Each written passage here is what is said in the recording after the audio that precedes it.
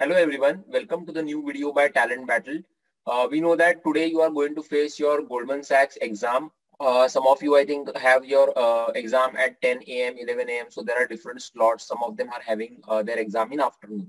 So we have been receiving a lot of requests from students to create some last minute tips because I think most of you have started your preparation yesterday when you actually got the link for the exam. But we had already posted free video preparation videos for goldman sachs on our youtube channel from i think 23rd jan. So it was uh, from past one month we have uploaded those videos. But anyways in this video we are going to check uh, what strategy you can keep for your exam which is there today okay?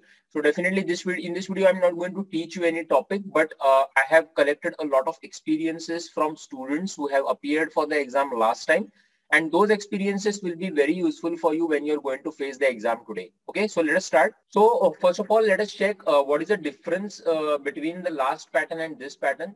Last time when the exam was conducted i think the uh, exam was for 1 hour 45 minutes that is 105 minutes and there were 68 questions.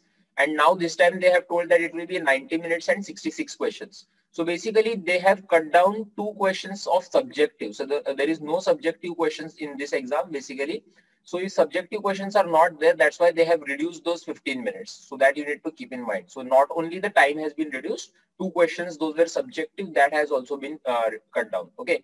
So this year again, so this time uh, there are eight questions from numerical computations, 12 uh, from reasoning, uh, numerical reasoning, 10 from comprehension, 12 from abstract reasoning, 12 from diagrammatic and 12 from logical. Okay, so you know this particular pattern.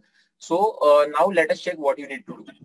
So first of all, time. If you check, guys, uh, so there are around 66 questions and you have got just 90 minutes. So not even, you can say hardly you have got 1 minute 15 seconds for each question.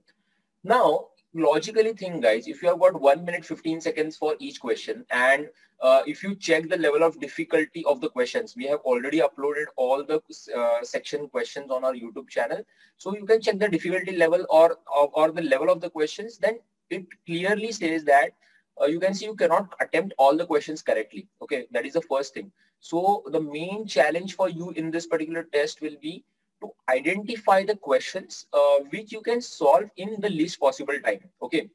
So these test is basically a test wherein you will get stuck on some difficult questions and you will waste a lot of time and afterwards you cannot just bluff the answers also because we know that there is going to be a negative marking okay so the first thing you need to keep in mind is that you cannot don't go for a aim that i will attempt all the questions okay or i have just got 1 minute 15 seconds for each question so i will just uh, do that no see uh, you have to try to identify the questions uh, which will be solvable in you can say two minutes around two minutes, two minutes, two and a half minutes. And those questions you need to target. Okay. So you just cannot uh, waste too much time. That is the first thing you need to remember once you start the test. Don't waste too much time on a single question. So if you think that you are able to solve a question, give maximum three minutes, not more than that, so that you can give justice to other questions also. Or the, if you don't do that, what will happen after some time? You understand that just five to 10 minutes are left and you have not even seen the remaining questions. So that should not happen. Okay. So first thing is about the time.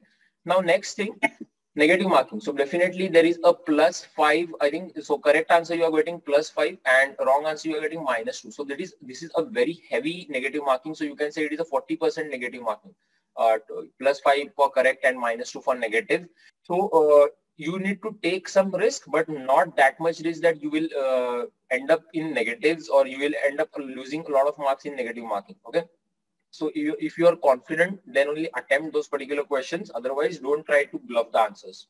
Next, moving in between sections. Now, this is very, very important, guys. So what is going to happen? Uh, last time, I will tell the experience of last time. Most probably, the same thing will happen this time also. Okay.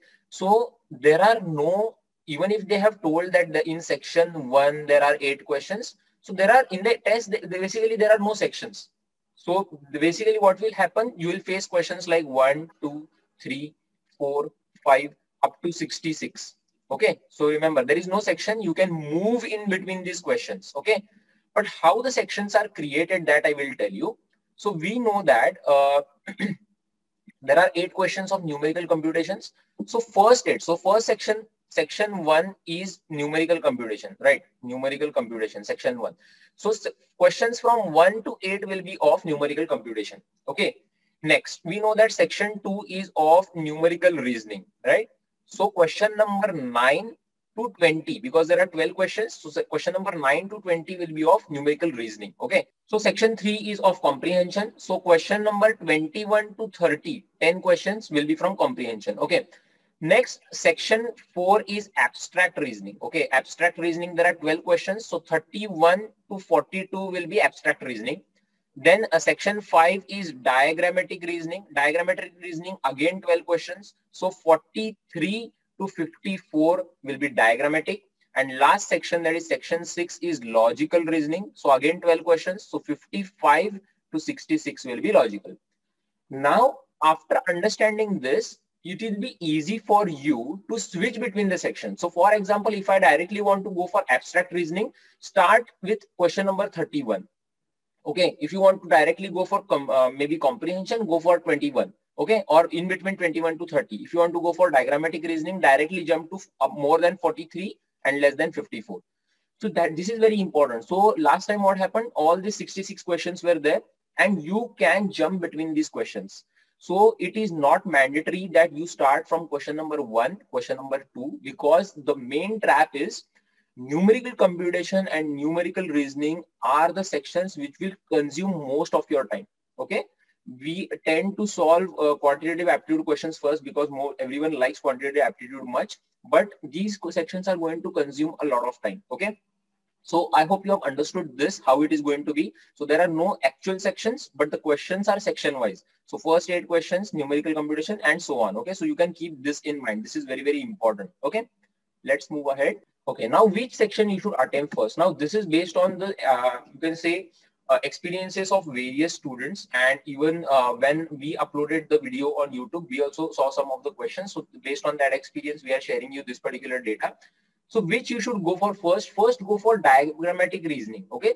Now this is not mandatory. If you feel that you are very good in some section which you can easily solve, you can just go for that section. This is just a recommendation for students who are currently not that much prepared okay? And uh, maybe if you want uh, what you can do is that uh, you can just again if you have not gone through the videos just go through the videos once okay? Go through all the videos which we have created. Go through those. You can just uh, check on the youtube and there is one playlist where all these sections are covered okay so according to us first you need to go for diagrammatic reasoning now you might think that there are some questions from diagrammatic reasoning which are not able to solve but our aim is not to solve all questions, right? You cannot solve all questions correctly because the, the level of the test is high. So in diagrammatic reasoning, there are some questions of cubes moving, some easy circuit diagram problems like uh, switches and bulbs. So those questions are very, very easy. If you don't know how to solve those questions, again, I'm telling you, just go and check our YouTube video on diagrammatic reasoning. It will help you with some of the questions. And then there are some flowchart questions. These questions are also very easy. Okay. So these questions you can check diagrammatic reasoning. So diagrammatic reasoning, I think it is uh, last second uh, section. So this section you need to attempt first. Now what you will be doing as we have checked, we know which section is diagrammatic reasoning. Uh, I think uh, question number 43 to uh, 55, those are diagram 56, those are diagrammatic reasoning. So, so I think 43 to 54, okay. So somewhere around there, we checked uh, in the previous slide. So you can just go and uh, first uh, solve the diagrammatic reasoning questions. Once you are done with that, now again I'm saying diagrammatic reasoning questions, don't try to solve all the questions. There will be some questions which will again consume time. Try to check which questions you can solve and accordingly you can go ahead. Next, go for abstract reasoning questions. So now these are the questions like uh, counting the number of triangles, number of squares. So there are some tricks which we have shared in our YouTube video go and check that abstract reasoning uh, video because in that we have told you how to count the squares, how to count the triangles. So that is a very good trick. The, those then there are paper cutting and folding, cubes and non-verbal analogy. So these are the questions which will consume less time and you can go for this particular question, okay, or this particular section.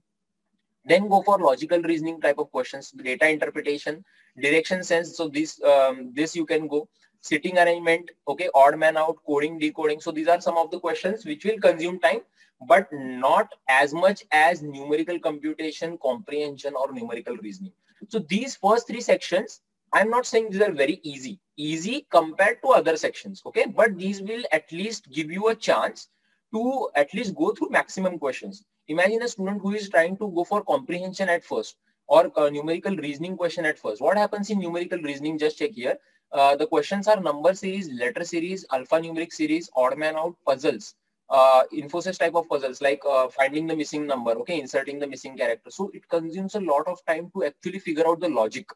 And once you uh, consume all your time in numerical reasoning or numerical computation, uh, it becomes difficult to go through these questions also of diagrammatic, abstract, and logical. So this is the sequence you need to follow. Next, uh, numerical computation is uh, quantitative aptitude. It is of uh, medium and difficult level, time work, percentage, ratio, divisibility. So after logical, you can go to that section. Then you can go for comprehension or numerical reasoning. So it depends on you if you're good in comprehension, if you are able to answer those questions, or if you have the habit of reading and then answering, then you can go for comprehension or you can go for numerical reasoning. So according to us, this should be the sequence uh, where you need to uh, start, okay, you need to approach the today's paper. One more thing, uh, last time this was the way you could interchange the sections. Most probably this time also you can interchange the sections but if you are not able to interchange, then they will give you sectional timer, right? But I don't think there will be a sectional timer this time because they have clearly mentioned uh, 90 minutes, 66 questions. So you can utilize this 90 minutes however you want, uh, in the way you want uh, on these 66 questions. Okay. So if you have got any other doubt or any question, you can just comment on this video. And uh, thank you for watching this particular video till the end.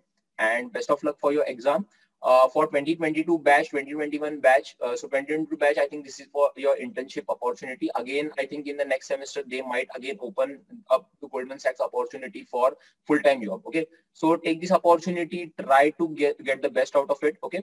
And uh, don't forget to watch the YouTube videos because uh, in that we have taken all these sections. Okay. I think the uh, comprehension section is not there, but uh, other all sections are there. Okay. So thank you again and best of luck.